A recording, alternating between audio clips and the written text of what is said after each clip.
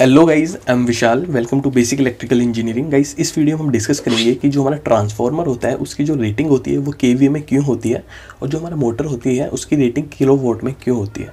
तो जो वीडियो है, इसमें मैं काफ़ी सिंपल वे में आपको बताऊँगा कि ऐसा क्यों है। उससे पहले गाइस मैं आपके साथ कुछ बेसिक्स ऑफ़ इलेक्ट्रिकल डिस्कस करूँगा। अगर वैसे आपको पता होगा, काफ़ी बेसिक है।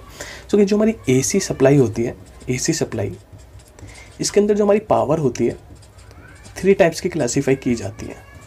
एक गैस होती है हमारी टोटल पावर एक होती है हमारी एक्टिव पावर और गैस एक होती है हमारी रिएक्टिव पावर रिएक्टिव पावर अब ये क्या होती है? आप कंसिडर करिए कि कोई आपका ये मशीन है। मशीन या आप मोटर ही कंसिडर करिए। मोटर है, इसके दो टर्मिनल हैं। अब हम इसको जब ऑन करेंगे मीन्स जब इसको हम चालू करेंगे तो हम इस पर एक supply source supply source provide करेंगे। अब इस सोर्स से जो भी पावर जाएगी इस मोटर के पास, जिसकी वजह से रोटेशन में आएगी तो जो हमने पूरा पावर जो दिया है, ये होती है हमारी total power total power so इस बेसिक पावर का फॉर्मूला मैं पता है power is to voltage into में करंट तो टोटल पावर हमने इसको प्रोवाइड कराई मीन्स कुछ वोल्टेज और जो करंट हमने प्रोवाइड कराया, वो हो गई हमारी टोटल पावर अगर हम लार्ज स्केल में बात करें तो अगर अगर हमारी हैवी मशीन है तो ये क्लो वोट में एम्पियर में भी हो सकती है। क्लो वोट लग जाएगा बस। तो हमारी टोटल पावर तो हमें समझ आ गई कि जो भी हम सप्लाई दे रहे हैं, वो होती है हमारी टोटल पावर एक्टिव पावर क्या होती है गाइज़ अब जितनी भी हमने इसको पावर दी, अब ये मोटर है तो ये इलेक्ट्रिकल टू मैकेनिकल वर्क करेगी। अब इलेक्ट्रिकल टू मैकेनिकल वर्क करेगी तो इस पावर में कुछ ना कुछ लॉसेस भी होंगे। गाइज़ हमने टोटल पावर तो दी। अभी जो पावर है मोटर पूरी पावर को कंज्यूम नहीं कर सकती। कुछ पावर ही वो इसमें से इसको कंज्यूम करेगी जो हमारी मोटर है टोटल पावर में से। जितनी भी पावर वो मोटर कंज्यूम कर रही है टोटल पावर में से वो होती है हमारी एक्टिव पावर अब वो कितनी पावर कंज्यूम कर रही है वो गाइज़ डिपेंड होता है पावर फैक्टर पर। अभी वो आपको समझ आएगा। अभी बस आप इतना समझिए एक्टिव पावर वो पावर होती है जो कि हमारी लोड है, वो कंज्यूम करता है एक्चुअल में।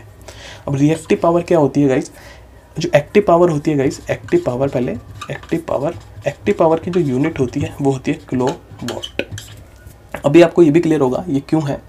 सो so, रिएक्टिव पावर क्या होती है? रिएक्टिव पावर वो पावर होती है जो कि लोड टू सोर्स और सोर्स टू लोड ट्रेवल करती है। इमेजनरी पावर होती है ये लोड कंज्यूम नहीं करता। तो मैं तीनों पावर का जो है डिस्कशन हो गया कि टोटल पावर हमने दी कुछ पावर उसमें से कंज्यूम करी लोड ने वो हो गई हमारी एक्टिव पावर एक होती है reactive power reactive power imaginary power होती है जो कि load to source source to load move करती है कोई भी जो हमारा लोड इसे कंज्यूम नहीं करता। तो रिएक्टिव पावर की भी यूनिट अगर मैं एक बार एग्ज़ाम्पल के लिए लिखी देता हूँ। Kilo volt ampere reactive so guys ये होती है इसकी रिएक्टिव पावर की यूनिट रिएक्टिव पावर अब गैस आपको इसका कॉन्सेप्ट क्लियर होगा, ये क्या हो रहा है?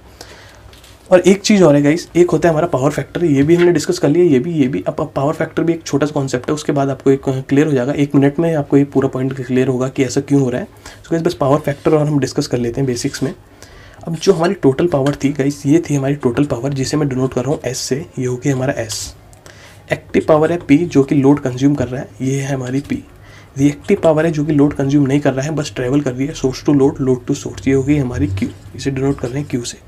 अब जो इस, इसके बीच का जो एंगल होता है, ये होता है हमारा पावर फैक्टर कॉस फाइव अब एक्टिव पावर के केस में अगर मैं पावर फैक्टर निकालूँ तो बेस अपॉन हाइपो तो कॉस थीटा होता है। बेस कितना है पी अपॉन एस तो पावर फैक्टर क्या है? पावर फैक्टर है कि जो हमारा लोड है, जितनी पावर कंज्यूम कर रहा है active power divided by total power वो आता है हमारा पावर फैक्टर तो ये भी हमें क्लियर हो गया। अब जो हमारा पावर फैक्टर है, ये डिपेंड करता है कि जो हमारा लोड है, वो किस नेचर का है।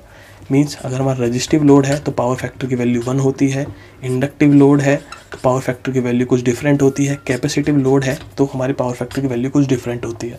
तो देखिए बस इतना हमारे कॉन्सेप्ट क्लियर करना था। अब आपको ये डिटेल में आपको क्लियर होगा कि ट्रांसफार्मर में किलो वॉट एम्पियर क्यों होता है। अब गैस ये है हमारा एक ट्रांसफार्मर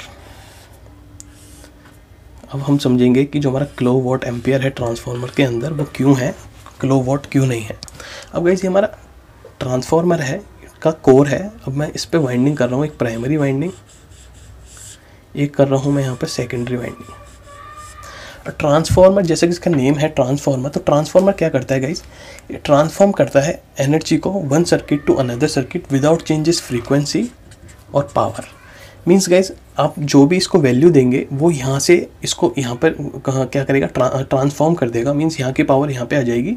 विदाउट चेंजेस फ्रीक्वेंसी जितनी फ्रीक्वेंसी आपने इधर प्रोवाइड कराई वही आपको यहाँ मिलेगी. जितनी पावर इसकी यहाँ थी वही पावर आपको यहाँ मिलेगी. विदाउट चेंजेस फ्रीक्वेंसी सो ये होता है हमारा ट्रांसफॉर्मर तो transformer is a device which transform energy from one circuit to another without changes frequency और पावर सो गाइज़ अब क्या होता है?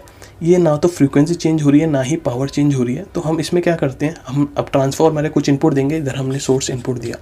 अब कंसिडर करिए, इधर की जो सोर्स की जो पावर थी टोटल पावर हम दे रहे हैं ट्रांसफॉर्मर वो कितनी थी? वोल्टेज इंटू में करंट पावर तो इधर भी जो आपको पावर मिलेगी, वो वोल्टेज इंटू में करंट मिलेगी मीन्स जो आपकी टोटल पावर है एस वन साइड वही एस टू साइड रहेगी।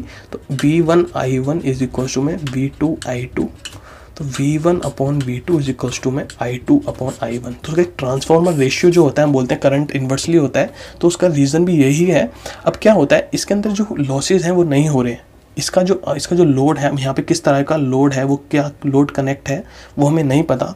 तो ट्रांसफार्मर की कंस्ट्रक्शन के जो टाइम है, हमें ये नहीं पता होता कि किस टाइप का लोड है यहाँ पर। बट हमें ये पता है कि जो ट्रांसफॉर्म है, बस वो एनर्जी को ट्रांसफॉर्म करेगा one circuit to another without changes frequency और वो। सो so, इसलिए जो इसकी जो जो यूनिट है वो किलो वोट एम्पियर में है। अगर ये स्मॉल के लिए है तो हमारा वो, वोल्ट एम्पियर में होता है। अगर लार्ज ट्रांसफॉर्मर है तो किलो वोट एम्पियर में भी होते हैं। अब जब भी आप इसका जब जो नेम प्लेट होती है इसकी उस पर जो इंस्ट्रक्शन लिखे होते हैं आपको लिखा रहेगा कि स्टेप डाउन कर रहा है स्टेप अप कर रहा है। कितना आपके जो इसकी कनेक्शन है वो डेल्टा कनेक्शन है स्टार कनेक्शन है सिंगल फ़ेज़ है थ्री फ़ेज़ है। आपको ये नहीं लिखा रहेगा कि इसका पावर फैक्टर क्या है। पावर फैक्टर का इसीलिए नहीं लिखा रहता क्योंकि हमें लोड नहीं पता किस टाइप का लोड हम लगा रहे हैं। कंपनी को ये नहीं पता कि लोड जो लगाओगे, आप किस टाइप का लोड लगाओगे, कितना पावर फैक्टर आएगा। इसका जो सेकेंड रीज़न है कि इसको जो हमारी ट्रांसफार्मर की रेटिंग है के में क्यों होती है, उसका सेकेंड रीज़न ये भी है। अब जो हमारा ट्रांसफार्मर है, ये एनर्जी को तो ट्रांसफॉर्म कर रहा है one circuit to another but जब एनर्जी ट्रांसफॉर्म की जा रही है तो कुछ ना कुछ इसके अंदर भी लॉसेज हो रहे हैं। बट जो इसके लॉस हैं, वो पावर फैक्टर पर डिपेंड नहीं होते हैं। पावर फैक्टर पर क्यों नहीं डिपेंड होते हैं गाइज़ अब इसमें जो है एनर्जी का कन्वर्जन नहीं हो रहा है इलेक्ट्रिकल टू मैकेनिकल जैसे मोटर में होता था, हमें नहीं पता कि हम लोड क्या लगाएँगे, इसका पावर फैक्टर क्या होगा। बट हमें जो इसका जो अंदर का जो कंस्ट्रक्शन है, इतना पता है कि जब हम इसको करंट या वोल्टेज सप्लाई देंगे तो कुछ इसके जो है हमारे आयरन लॉसेज होंगे, इस वाइंडिंग पे जो करंट फ्लो होगा रेजिस्टेंस के थ्रू कुछ ना कुछ आयरन लॉसेज होंगे, जो कि डिपेंड करते हैं आपके करंट पे I square R iron losses जो होते हैं हमारे iron losses I square R formula होता है तो करंट पे पे आप डिपेंड कर रहे हैं। और जिसके हमारे जो जो हमारा कोर लॉस होगा कोर लॉस क्या होता है, जैसे ही हम इस पर करंट पे वाइंडिंग पे करंट देते हैं तो मैग्नेटिक फ़ील्ड जनरेट होती है। ये मैग्नेटिक फ़ील्ड स्कोर के थ्रू इस वाले कॉइल के साथ लिंक करती है। अब जो मैग्नेटिक फील्ड्स हैं कुछ ना कुछ वो लीकेज भी होगा मैग्नेटिक फील्ड्स का। जो मैग्नेटिक फ़ील्ड लाइन का जो लॉस हो रहा है वो होता है due to voltage voltage so so, जो इसके लॉसेज हो रहे हैं वो बस वोल्टेज और करंट पर डिपेंड कर रहे हैं। इसलिए भी जो इसकी यूनिट है वोल्टेज करंट होती है वोल्टेज एम्पियर होती है और लार्ज स्केल में किलो वोट एम्पियर होती है। बट गाइज़ इसमें कोई भी पावर फैक्टर का रोल नहीं होता। अगर हम जो हमारी मोटर होती है गाइज़ ये हमारी मोटर मोटर के अंदर रोटर ये इसके दो इनपुट टर्मिनल रोटर के ऊपर वाइंडिंग सो गाइज़ इसमें क्या है कि कंपनी को पता है, जो मोटर है, वो विदाउट वाइंडिंग नहीं चलेगी. मीन्स वाइंडिंग है तो मतलब कि इंडक्टिव लोड है. इंडक्टिव लोड इंडक्टिव लोड है तो मीन्स कुछ ना कुछ पावर फैक्टर आ रहा होगा. पावर फैक्टर आ रहा होगा मीन्स कुछ ना कुछ कॉस फाइव की वैल्यू होगी. तो कंपनी को पता है कॉस फाइव की वैल्यू कुछ ना कुछ होगी. तो इसलिए अगर हम इधर से पी की वैल्यू निकालें पी क्या है एक्टिव पावर तो पी की वैल्यू कितनी होगी? P is equals to S into में कॉस फाइव कॉस फाइव तो power is equal to S क्या होता है guys total power V into I into में कॉस फाइव तो जहाँ पर भी हमारा जो है पावर फैक्टर आता है, उस, उसकी जो रेटिंग होती है, हम किलो वोट में देते हैं। जहाँ पर भी पावर फैक्टर नहीं आता, जैसे कि इस केस में, इस केस में क्या था, बस एनर्जी ट्रांसफॉर्म हो रही थी, इसमें कन्वर्ट हो रही है। तो जिसमें कन्वर्ट होती है, उसके अंदर पावर फैक्टर आता है, इसमें एनर्जी बस ट्रांसफॉर्म हो रही है, इधर से इधर विदाउट चेंजेस फ्रीक्वेंसी और पावर पावर चेंज नहीं हो रही है तो इसलिए जो इसकी रेटिंग है, वो किलो वोट एम्पियर में है, और जो इसकी रेटिंग है, वो किलो वोट में है। अगर वीडियो अच्छी लगी हो तो हमारे वीडियो को लाइक करें चैनल को सब्सक्राइब करें। अगर आपका इस टॉपिक से रिलेटेड कोई भी डाउट है तो आप हमें कमेंट कर सकते हैं। Thank you